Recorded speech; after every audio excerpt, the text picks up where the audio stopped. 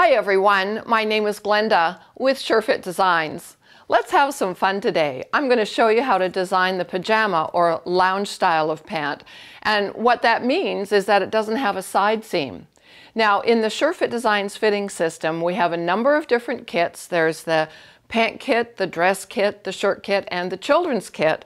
And it's in the children's kit that you're actually going to find the instructions for designing the pant without a side seam. It's found on page 18. And you'll say, children's kit? Why would I use that? I'm an adult. Well, designing for a child is pretty much the same as designing for an adult when you realize that a pant pattern is a pant pattern or a bodice pattern is a bodice pattern.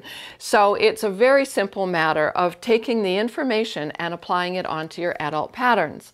So the first thing that you need to do is draw off your SureFit Designs pants pattern. And um, for those of you not familiar with SureFit Designs, it's a fitting system whereby you take your body measurements and apply them onto a master pattern that's been graded according to your body measurements. So when you end up connecting your dots together, the result is a pattern that reflects your body shape and size. Now, with the pants pattern, once it's done, you will end up with approximately two inches of ease in your low hip area.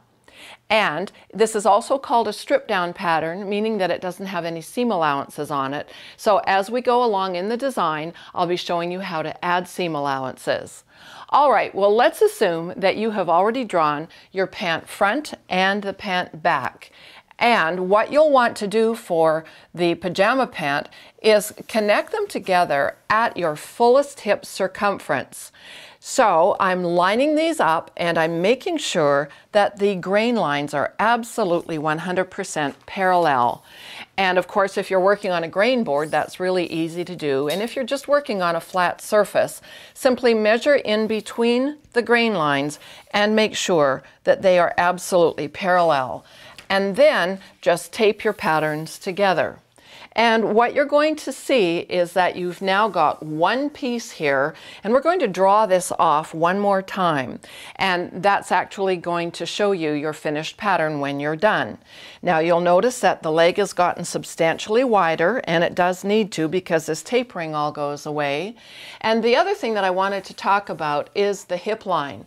In this hip line, you only have two inches of ease. If you want to have a little bit more ease, because this really is for a pair of pajamas and you like lots of comfort, you can spread your hip line apart. And let's say you spread it apart one inch, well you'd have an inch extra on this side and an inch extra inch extra on the other side. So if you add that plus the two that is already given in the pattern, now you've got four inches of ease.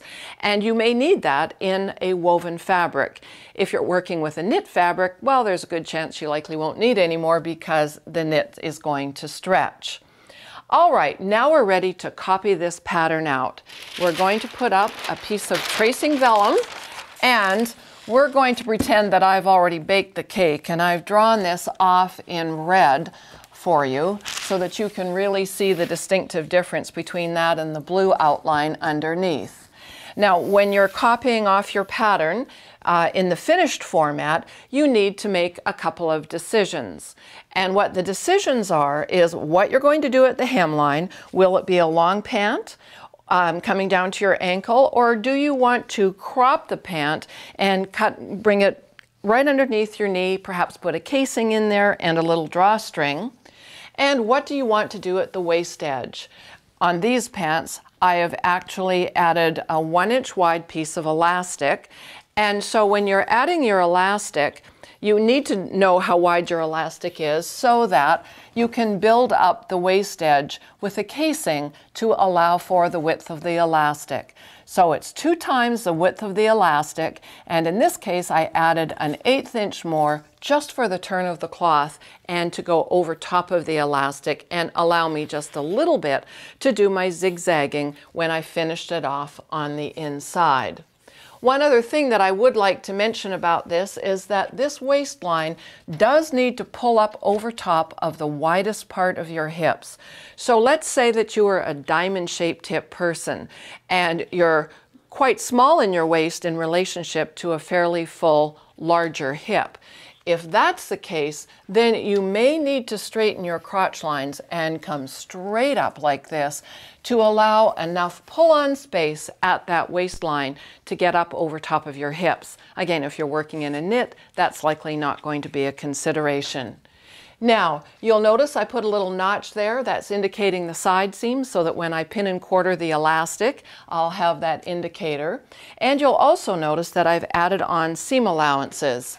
With SureFit Designs, it's very easy to add on seam allowances with this designing stylus. It's a tool that's got all of your body curves on it, hip curves, crotch curves, neckline, armholes, and these slots right here are for seam allowances all you're going to do is place that designing stylus into the lines that you have previously drawn and draw through the slot that is closest to the outside edge of the stylus and that will add on the appropriate 5 8 inch seam allowance. And then of course at the hemline I used that and created the casing that is at the bottom. So this is one of the quickest and simplest pairs of pants to make. I'll tell you, all up this took me about an hour to sew. It's so fun and simple. You've got two basic seams that you serge, the inseam and the uh, crotch line, and then you finish off the casing at the top and the casing at the bottom and you're done. So for this and other quick and simple projects with SureFit Designs, please make sure that you go to the SureFit Designs Learning Center. There's an article library and a video library to give you all kinds of information about working with the SureFit Designs fitting system.